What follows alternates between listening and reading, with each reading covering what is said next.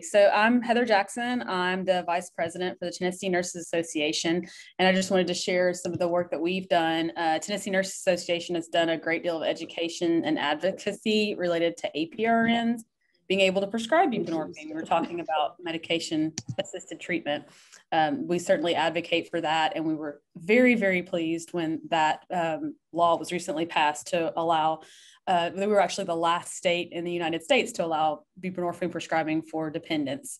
So we were very excited about that and spent a lot of um, months and over a year advocating for that. We continue to highlight alternative and all alternative and complementary therapies for opioid use in pain uh, in pain management.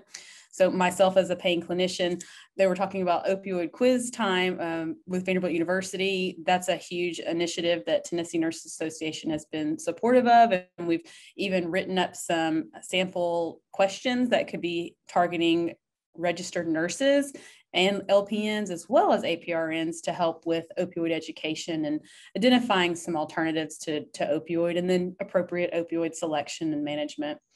We did actively oppose um, a recent bill that was imposing mandatory restrictions on APRN practices, such as mandatory reporting to the Board of Nursing and on mandatory on-site physician oversight before due process had taken place. Those can be very, very time consuming. I myself has been an expert witness in those situations and they can be many many months up to a year. So we did not support that um, that bill. And then we do work closely with one tennessee to provide nurses and aprns opioid educational content. As i was just discussing with quiz time we've piloted a program there and we hope to offer that to all of um, nurses in the state of tennessee